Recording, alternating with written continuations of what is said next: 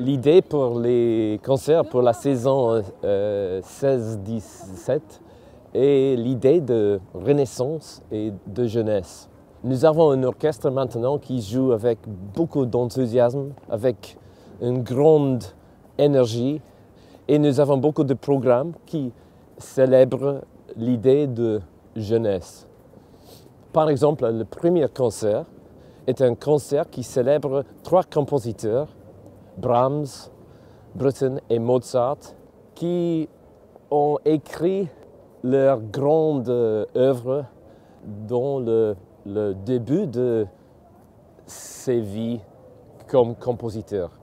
Un autre concept pour la saison 16-17, nous jouerons beaucoup d'œuvres symphoniques, mais à travers les yeux d'un orchestre de chambre. Par exemple, nous jouerons l'arrangement de Schoenberg de Le chant de terre de Mahler pour un orchestre de chambre dans une manière transparente et très claire.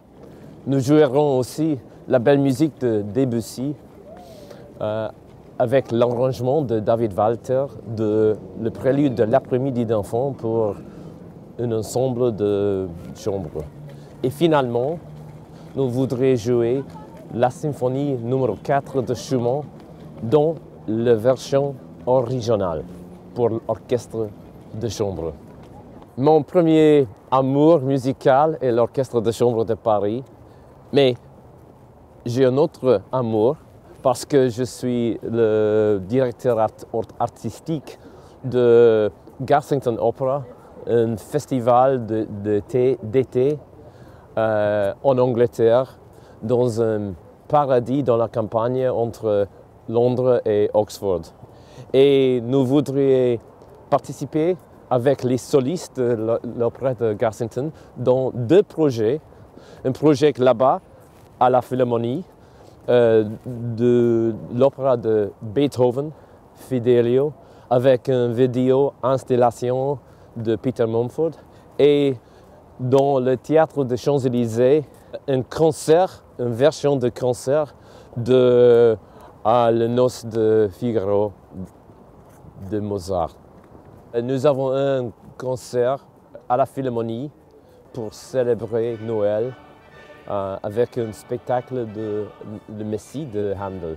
Et pour moi, c'était une expérience incroyable, une expérience de joie parce que nous avons chanté avec 400 membres du public euh, qui, qui, qui ont chanté avec nous. Nous voudrions répéter le concept avec un programme qui s'appelle So British à la Philharmonie, aussi pour célébrer Noël euh, dans la saison 16-17. Euh, Nous aurions une soliste formidable, Sarah Connolly, qui chantera deux pièces de Benjamin Britten pour Noël. Et dans le programme, nous aurons un chœur de jeunes, un chœur fantastique de jeunes qui chantera la musique de Benjamin Britten son Ceremony of Carols. Notre public chantera avec nous et avec l'orchestre, avec des extraits des, des, œuvres. C'est très important pour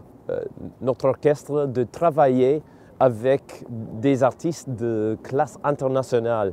Et nous sommes très contents d'accueillir beaucoup d'artistes, par exemple François Frédéric Guy, Stephen Isserlis, Emmanuel Pahu et Yvonne Nif. Nous avons beaucoup de concerts dans tout Paris et j'espère vous y retrouver.